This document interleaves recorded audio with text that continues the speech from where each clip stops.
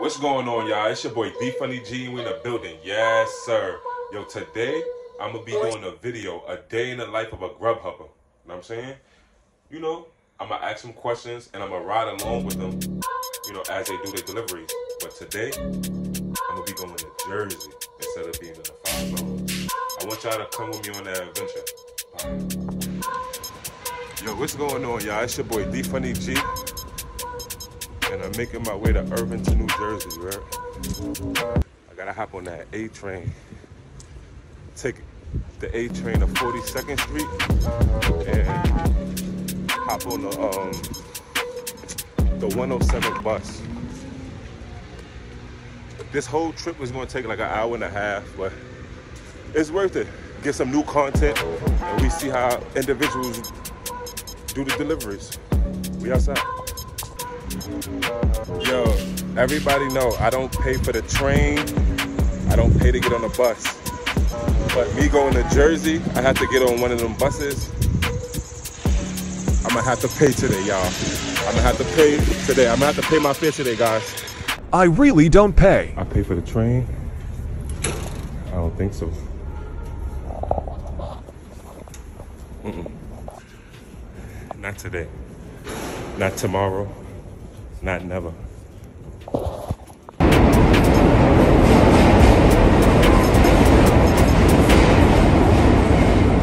Board on the right now.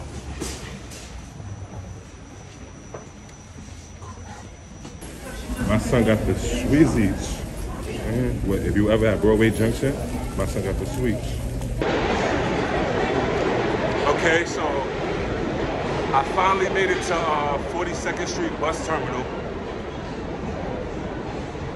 I definitely gotta find my way because I'm not lost, but yeah. It's crazy because I used to live in Irvington. I used to take this route all the time.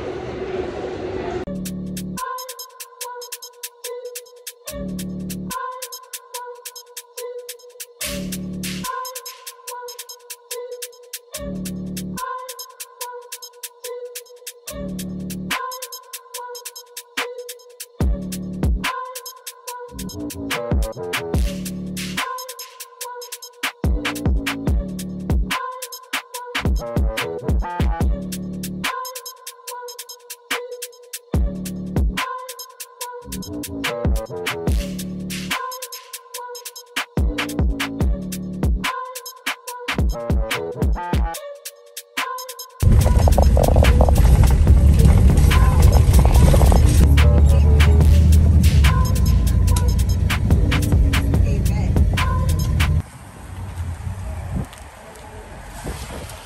Yo, she had me over here waiting. Nah.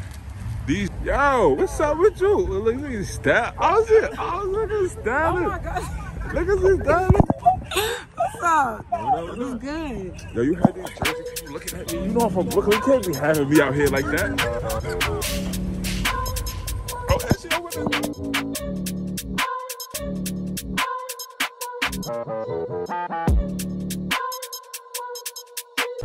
First spot, red crab. We're gonna see what's going on. First order of the day. Oh, they canceled? Whoa, that's crazy. Okay. Next stop, happy customer. Get your food, baby.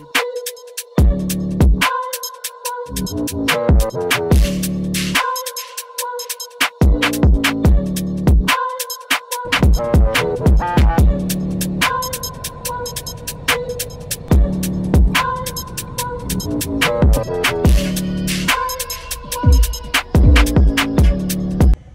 some of the pros and cons of being a a Grubhub delivery driver? The pros are The pros. the pros are that I ain't gonna hold you after you put in a you know a good shift. You know what I'm saying? Like you would at a regular job. But sometimes you know a little bit maybe two hours less. How- still make a good enough amount of bread for that night. It's very it's, it's very lucrative. Like it really is. Each shift is, consists of what? How many hours? Um, it could be three. Yeah. They usually do it like three. Yeah. So the cons. Sometimes the GPS will take you to the back of the building. The person will have special instructions about coming to the Oh front desk. gosh. You even got people that be like in the hotel, like bring it to my room. Yeah. Not room service, bro. Not me. Listen. When you del- when you when you ordering from Uber Eats, DoorDash, Grubhub, and you staying in a hotel, y'all know the delivery guys and the delivery women they can't go upstairs. You you can only leave it at the front desk, or you have to come downstairs. Stop doing that.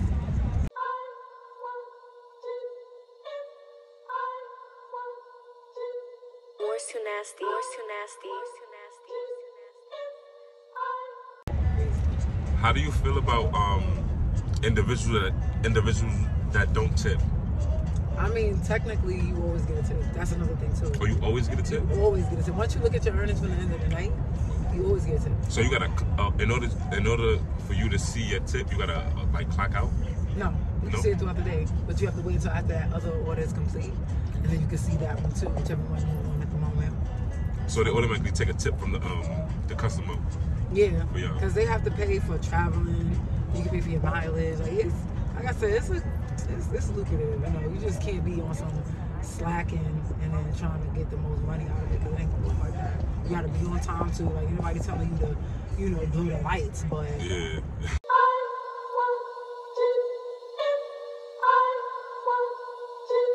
More's too nasty. More's too nasty. More's too nasty.